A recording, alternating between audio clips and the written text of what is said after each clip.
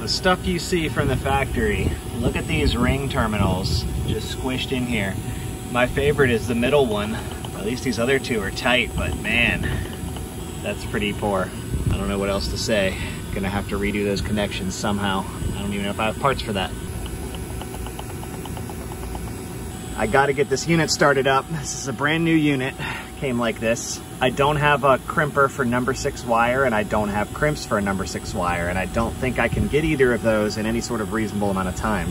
I've also thought about getting some sort of lugs to put on these screws to terminate the wires, but I don't have those. And there again, will these screws be long enough to put a lug on there? Because the thickness of any of the lugs I've ever seen is significant. So I got a way I'm gonna fix this in the field and maybe some people won't agree with it or make fun of me, but that's fine. So comment below how you'd fix it and I'll show you what I'm gonna do. What we did to fix this is I chopped these off to roughly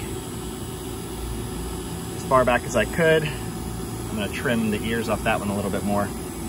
I went through with a pilot bit and then a drill bit that was slightly bigger than these screws, like very I don't want these to thread through there, but I, I want to get as much surface area touching as possible.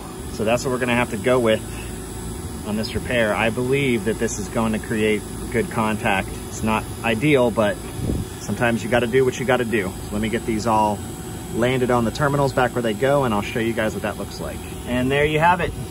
Better than factory, right? Because factory is pretty lacking in this situation. So I'm gonna get this all tightened back up get this all wired back correctly. I had this holding my solenoid open because I didn't have a magnet up here with me. So obviously I have power unapplied right now, but I'm gonna turn this back on. I have the wire pulled off the contactor to keep that solenoid open because I don't know if that electronic valve is open. Interesting issues, something to watch out for. Thanks for watching our video. If you enjoyed it and got something out of it, if you wouldn't mind hitting the thumbs up button to like the video, subscribe to the channel, and click the notifications bell to be notified when new videos come out. HVAC School is far more than a YouTube channel. You can find out more by going to hvacrschool.com, which is our website and hub for all of our content, including tech tips, videos, podcasts, and so much more. You can also subscribe to the podcast on any podcast app of your choosing. You can also join our Facebook group if you want to weigh in on the conversation yourself. Thanks again for watching.